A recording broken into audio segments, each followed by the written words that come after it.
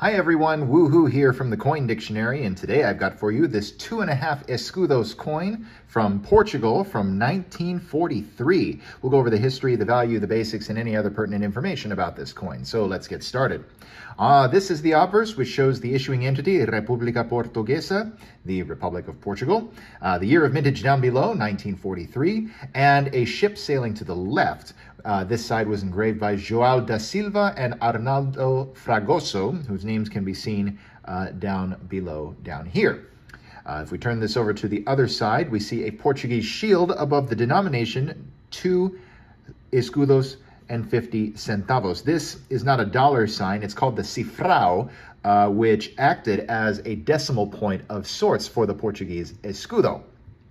Uh, these coins were 65% silver. They were produced between 1932 and 1951. Uh, in the Lisbon Mint in Portugal. They are three and a half grams in weight, 20.5 millimeters in diameter, 1.4 millimeters thick with a reeded edge, as you can see right there. 1943 has a mintage of 8,302,000 for circulation, making it one of the more common coins uh, of this particular date run that were produced for circulation. Uh, but it should be noted that these coins were demonetized in 1969 uh, when denominations such as the half, escu uh, half escudo and this two and a half escudos denomination began to disappear. At the time of changeover to the euro, however, in 2002, uh, the official exchange rate was 200 escudos, roughly, uh, to the euro. So this coin was worth at time of the changeover about a cent and a half in exchange value. Of course, it was it's worth a lot more nowadays. The silver value alone in this coin, at least as of time of recording, is $1.73.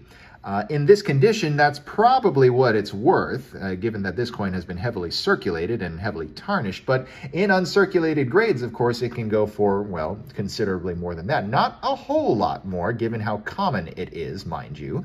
Um, but silver coins from this particular period typically go for about two, three, maybe even four dollars, depending on condition.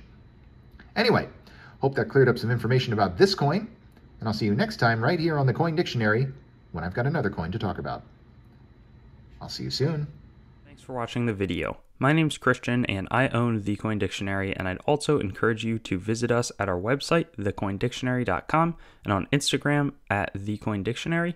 And I'd also like to draw your attention to some other helpful coin resources, such as my other YouTube channel, Treasure Town, which does more in-depth videos about coins and collectibles, as well as some resources like coinmeltprice.com, which shows up to date precious metals pricing as well as the melt values of the coins that you own, coinsmetalscards.com, which will both be a marketplace and a news source for coins, metals, and cards, as the name suggests, as well as what'sthegrade.com, which will develop into a stickering service for already graded collectibles. Have a great day, and I hope to see you on some of our other videos.